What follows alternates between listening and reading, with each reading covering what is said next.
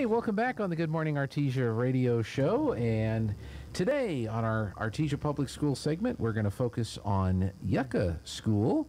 And joining us is counselor Tara Skinner. Good morning. Good morning.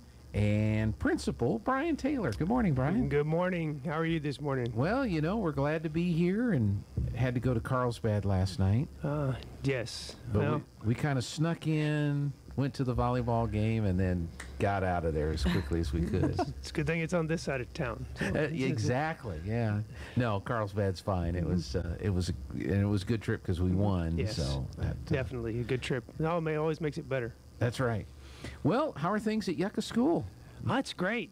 Great. Uh, glad to be glad to be there with all of them back in there and uh, just uh, move right along. Uh, you know, trying to create those good relationships with kids. Yeah. Now, was there a lot of uh, construction and stuff? Yes. Stuff some Yes. improvements that were made over the last. Yeah, yes, and that's that's one of the uh, uh, you know the big things that happened at Yucca was we added about eighteen thousand square feet, uh, which were four classrooms, and then they added a STEM lab, music room, computer lab, art room, and then uh, there are five rooms for ancillary, which is our SPED, Title One, um, enrichment, bilingual, and, and those. There were five rooms added, smaller rooms added for those uh, um, specials. And so, anyway, it's been it's been a great addition, and that uh, the kids really enjoy it.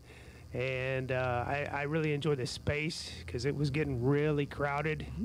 uh, we and and we are growing because we added a teacher a couple of years ago when we got the new the new building. We added a, a first grade teacher, and so we're uh, and we don't want to fill it up too fast, but uh, it's uh, we we do have room to grow now. That's good.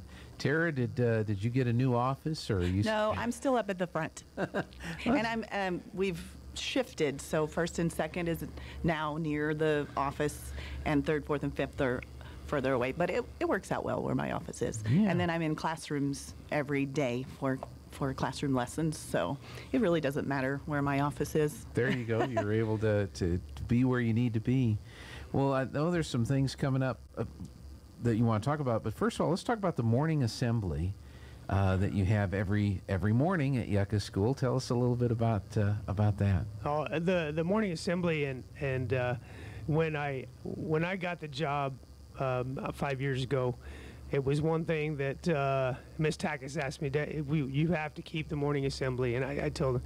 Uh, that I, I wouldn't change that, and Miss Miss Flores, I think she's the one maybe has started that, and every kid we meet in the gym every morning, and we do our pledges, and we get the uh, our our mission statement and motto, and we go over that each day, and uh, the menu, so they know the menu beforehand, and we celebrate birthdays each day, any announcements that we need. Uh, Fridays are special days when the football, volleyball, or soccer team comes, and we get to have a little more fun. Uh, you know, a little little dancing and music and, and, and some things like that. It's just a, a good way to start the day each day with the, the kids not having just to run in and sit down. They get to, you know, see everybody and, and uh, you know, I just think it just builds a little bit of community because they all get to be there together. Okay, Terry, I'm sure you're there at those events. Uh, I am, yes. h- How how beneficial do you think those are for all the kids? I think it's very beneficial because we're there as a Yucca family, and for me personally, I can I can scan faces and see who might be having a rough day, and teachers can too. So I, I feel like it's a, a very beneficial assembly every morning to meet together Yeah. Do do they sing happy birthday if their birthdays that and day? dance. And dance. Yes. Okay. It's called it's called the birthday boogie.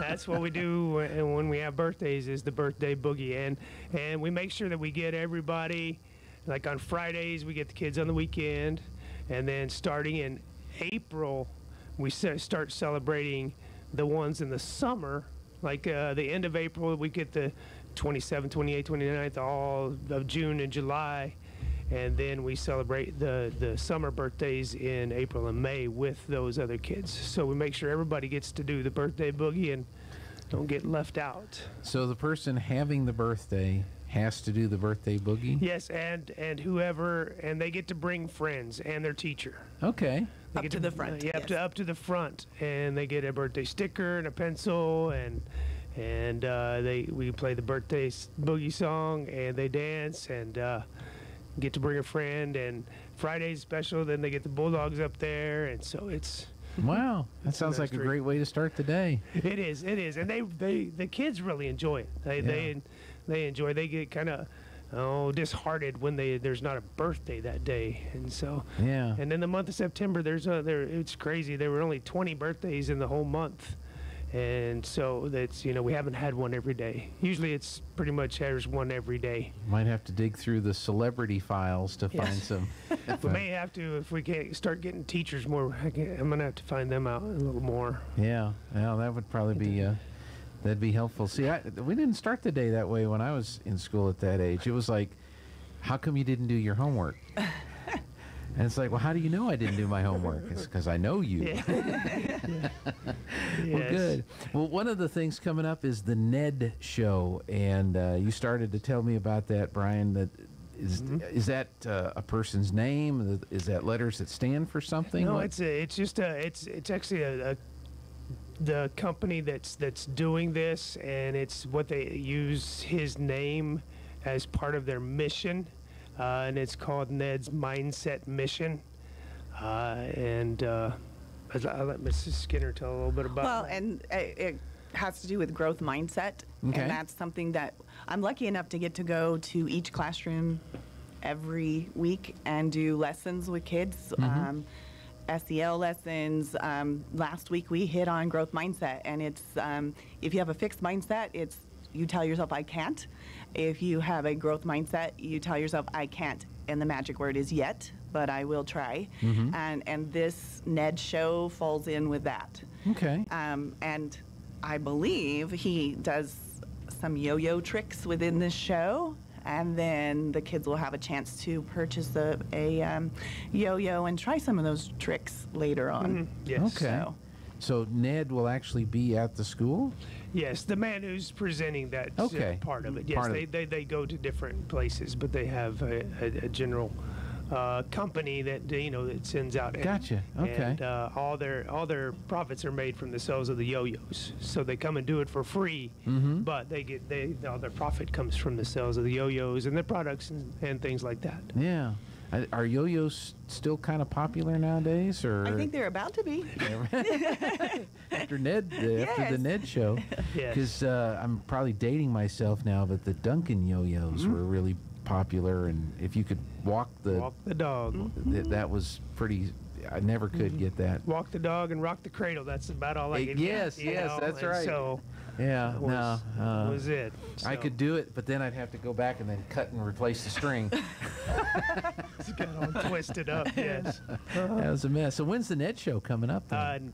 Uh, Tuesday. Tuesday. Okay, yes. so that's coming up next week. Yes, Mhm, the next week. 27th. Very I think he's going to be at Yeso also, and so they'll they'll have that also then. Okay.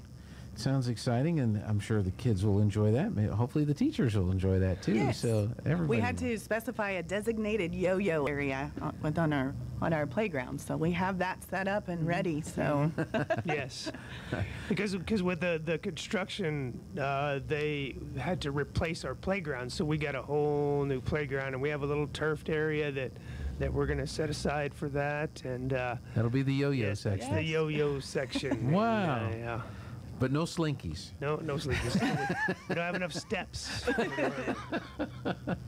Uh, and you have a book fair coming up, and I, I look at the school calendar every day. We we share um, all the activities from the different police, different uh, schools, and I see the book fairs popping up. So what's a what's a book fair?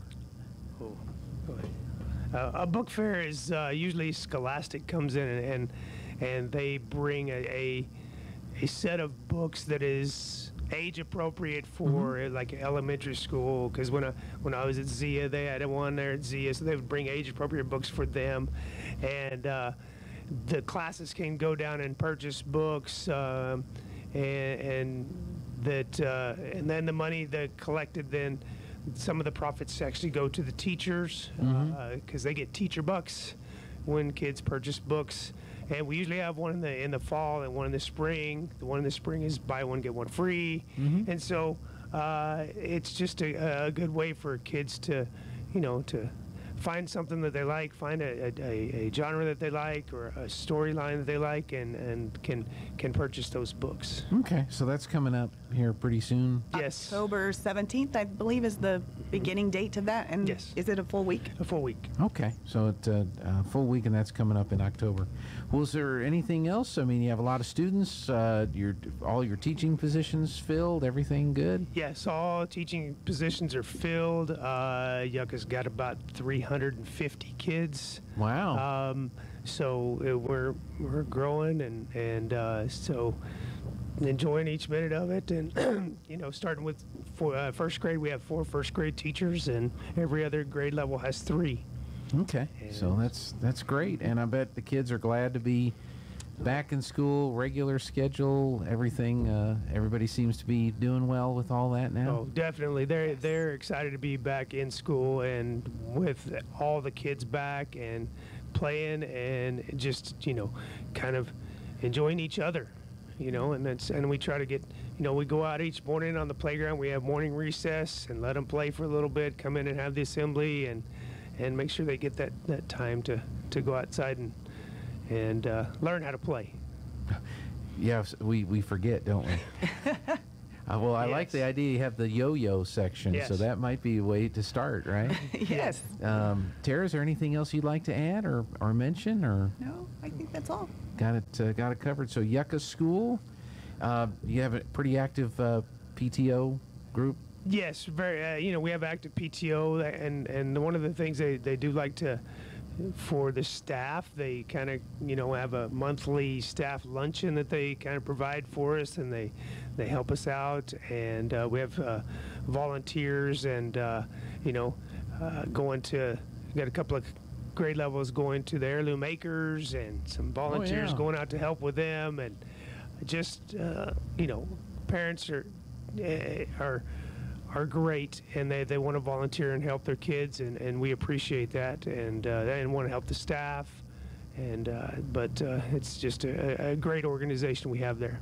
Very I good. peeked in at the last meeting, and there were it seemed to be Mm-hmm. a huge group of parents that are willing to volunteer this year. So that I think that's I think people are just so excited to have uh, their kids back in school and be able to have normal activities. That it seems like we had a Mm-hmm. bigger volunteer group this year than than usual. Excellent. Well, we're so glad you came by and glad you guys are there and all the other teachers and support staff for the kids. Uh, Tara Skinner, counselor at Yucca School, and Principal Brian Taylor. Thank you so much for coming in today. Okay, thank you. you. Have a great day. You too. We're going to